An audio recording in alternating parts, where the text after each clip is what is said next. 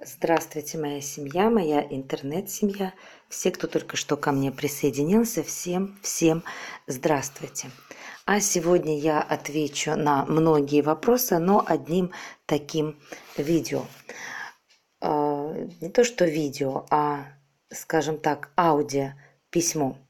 Девушка одна написала, что у нее э, трагедия и просто это просто какая-то несправедливость, что вроде бы как она и молится, и вроде бы как бы у нее так... Это мне часто такие приходят на самом деле письма.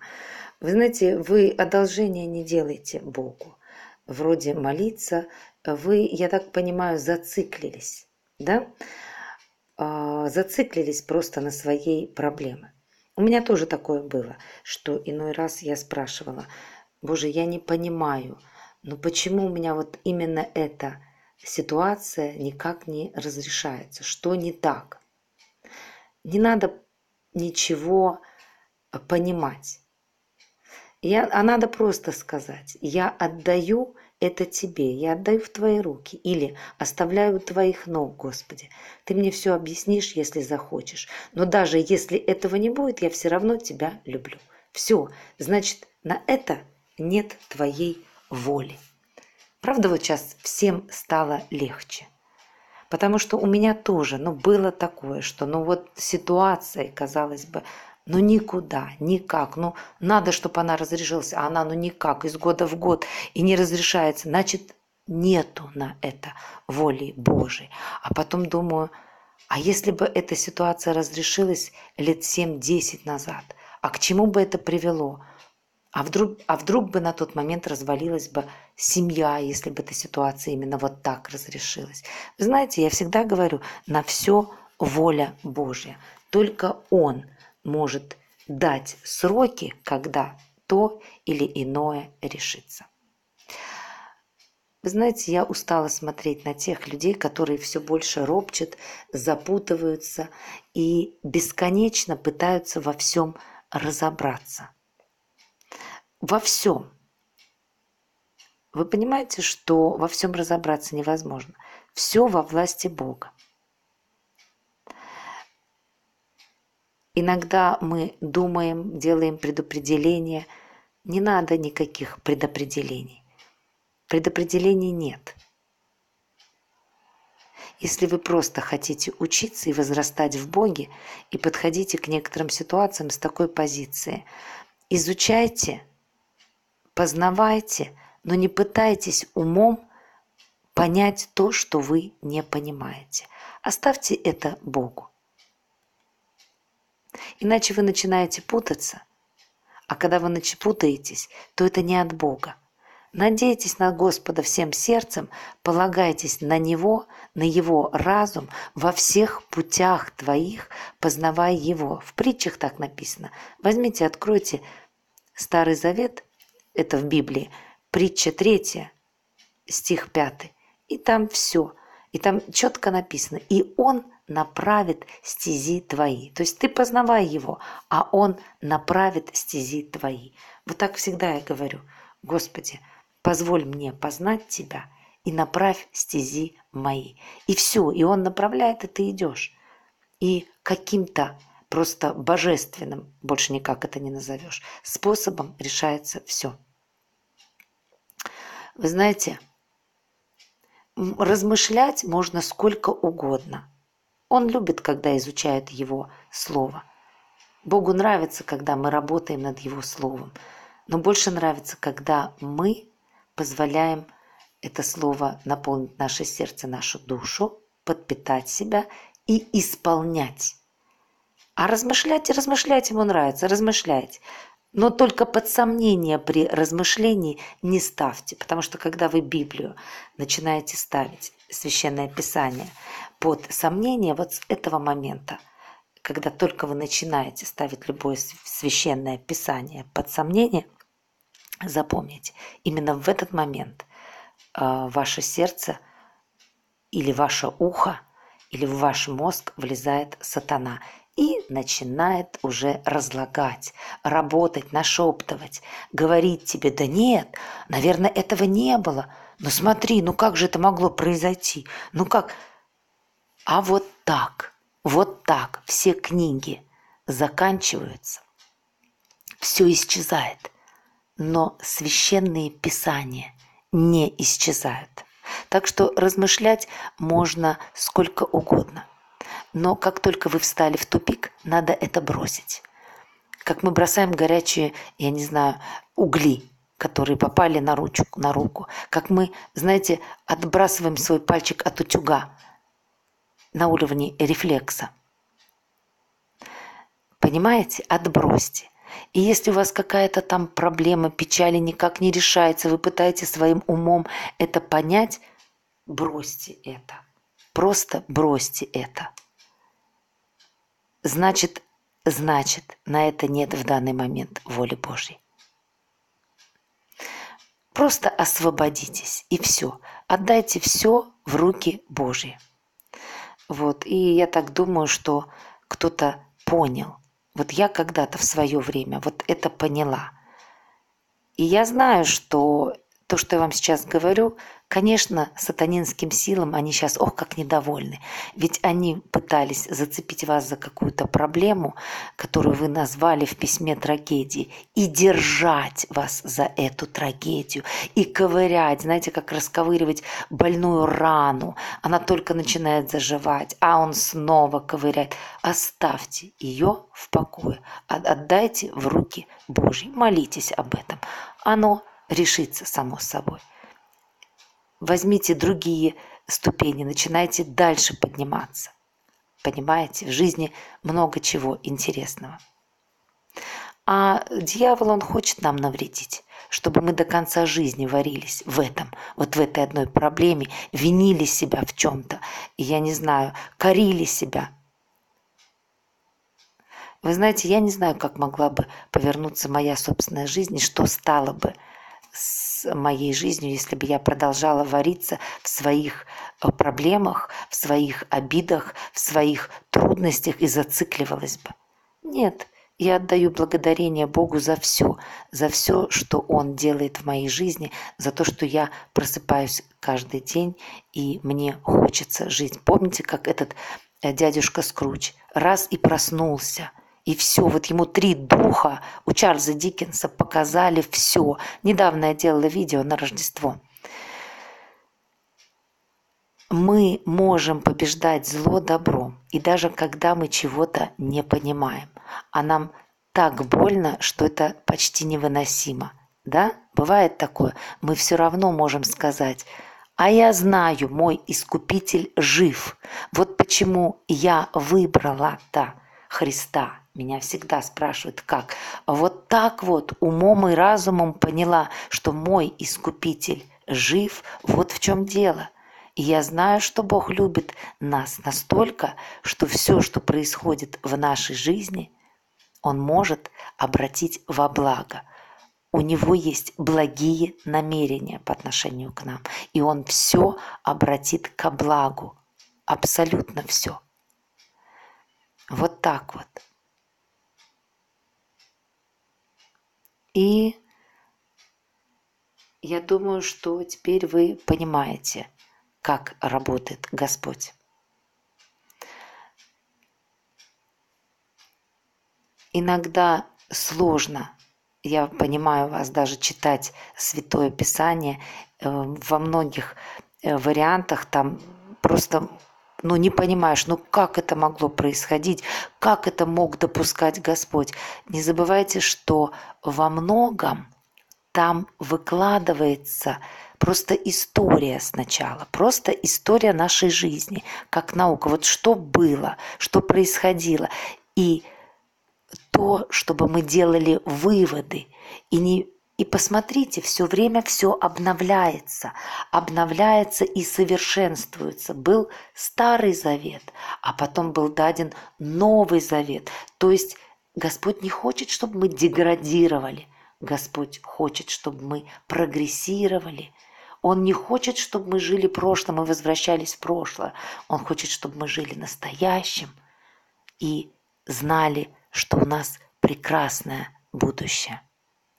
Не болтайтесь в лагере врага, каждый день, доставляя ему радость. Не надо. Особенно не ропчите. Не ропчите на свою жизнь, иначе жизнь покинет вас. А как она покидает? Если вы начинаете роптать на свою жизнь, то она начинает покидать вас. Очень просто. Сначала появляются симптомы, потом появляются болезни, потом вы начинаете стонать, и тогда Господь Бог действительно покажет вам, что есть ропот.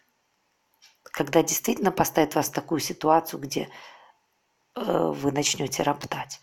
Вообще Господь Бог не любит ропот. А когда живется нормально, хорошо, и вы можете, можете дарить любовь ближнему, и вы можете благословлять ближнего своего, но вы ничего не делаете, а только ропчете, то кому вы доставляете радость, дорогие мои? Кому вы доставляете радость? Вы знаете, мне так интересно а, и приятно. Вот сзади сидел на Рождестве, когда мы праздновали в церкви Рождество, сзади меня сидел парень-инвалид. Это наш тоже прихожанин, он постоянно в нашей церкви, очень хороший, добрый парень. И вы понимаете, вот у него ДЦП, ему тяжело ходить, ему, но там что-то мне понадобилось, и он тут же, э, значит, увидел, что я хочу посадить своего сына, там у нас мест не было, так много э, народу было, около 300, может быть, человек, наверное, может больше на рождественском служении. И мне надо было посадить. Сын стоял в проходе, потому что не было места уже в церкви. И он стоял на служении. И вот этот парень, инвалид, он э, как-то вот подсуетился, как-то подвинулся, как-то так, знаете, чтобы вот мне освободить место и говорит, давайте его сюда, давайте к нам. Вот тут вот я найду место, вот, вот, вот я думаю, боже, какая умница, какая умница. Я вообще, тортика не хватило, он там свою половинку что-то там пытается мне. Я говорю, да нет, спасибо, все, спасибо. Он прям сзади меня сидел, такой вот интересный парень, да, он, потому что он в живой церкви, и он сам благословляет людей. Он не смотрит, что у него ДЦП, он не смотрит, что ему тяжело ходить. Вот он пришел, у него на лице синяки. И я его спросила, что случилось. Он говорит, я упал. Сколько было, он упал. У него ножки, знаете, так под себя но он всегда служит в церкви. Он всегда служит всем. Вот едем кормить, э, допустим, бездомных, э, нищих людей. Так он в первых рядах идет. И, и порой бездомные смотрят на него. Ведь э, главным образом кто бомжи? Бомжи – это лентяи, которые ленятся себя обслужить, которые вот им легче так жить, ничего не делая. Э, а если они где-то что-то на, на, найдут, они начинают выпивать. Ну, в большинстве, я не говорю, что это все, но в большинстве своем у нас это так.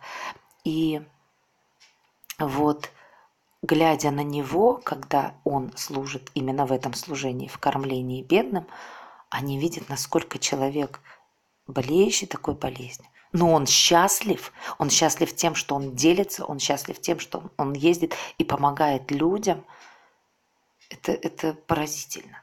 Вот для чего э, одна женщина спросила, вот Господь позволил болезни. Да вас проверить, вот для чего, не все же здоровые. Есть люди больные, так они воины. Я считаю, что они воины, когда ты достойно переносишь. Кроме того, ты еще показываешь, какой ты достойный сын своего небесного Создателя. Это всегда меня умиляет. Так что доставляйте ему радость.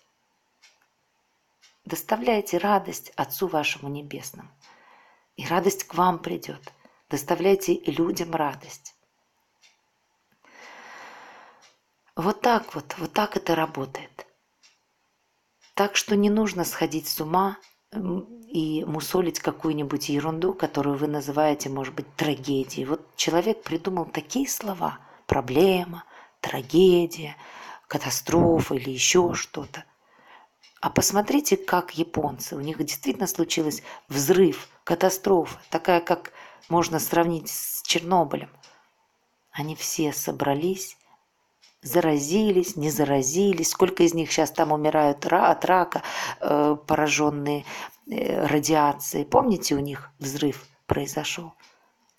Ничего, они все отстроили, как камашки, быстренько, быстренько, быстренько все это сделали и даже ни у кого не просили помощи. Так что не сходите с ума, не мусольте эту тему, которую вы мне написали. Да и вообще, если у кого какие проблемы. Не надо думать, почему меня на работе не повысили, а его повысили. А, допустим, она же не заслужила. Почему же не меня? Почему меня не пригласили на эту вечеринку, а ее пригласили? Это совсем не проблема. Почему он исцелился, а я так и болею? Если у вас такие мысли возникают, знаете, что я вам скажу? Значит, в вашей жизни вот есть этот страшный ропот, который Господь Бог не любит. Понимаете? Вы должны четко знать, что у каждого, на каждого человека уже прописано все у Бога. На каждого. Э, свой план уродуют лишь те, которые отдают сами. Нам дают свободный выбор, вы выбираете. Если вы себя отдаете в руки сатане, например, в бутылку, в алкоголизм или в наркотики, в ложь, в воровство и так далее. Если вы сами себя отдаете в руки, это другое дело. Это понятно, вы понимаете, что вас ничего уже хорошего не ожидает. Вот. Хотя я хочу, чтобы вы знали, хотя, чтобы вы знали, пока вы живы, пока вы сейчас дышите, если на данный момент вдруг все-таки в голове вашей что-то прояснится, вы можете даже без никого покаяться мгновенно и отдать себя полностью Богу. Вы знаете, Он примет ваше покаяние, примет. Но только не забудьте приобрести Слово Божье, потому что только через него спасение придет. Иначе как вы, как вы оздоровите душу свою? И на каждого, на каждого из вас приготовлен удивительный, прекрасный замысел для вашей жизни. Я хочу, чтобы вы это знали. Есть тайны, которые Бог нам открывает, но есть такие, которые мы никогда не поймем, пока не придем на небеса. И это нормально. Я считаю, что это нормально, потому что я всем сердцем верю, что если Бог хочет, чтобы я знала, Он мне скажет. И я не собираюсь сходить с ума, пытаясь разобраться в вопросах, на которые нет ответа, потому что Божьи пути глубоки и неисследимы. Знаете, как говорится в 11 главе посланием к римлянам, помните, есть такое послание к римлянам? 11 глава. Откройте Библию, и вы там прочитаете. Вы там прочитаете такую вещь.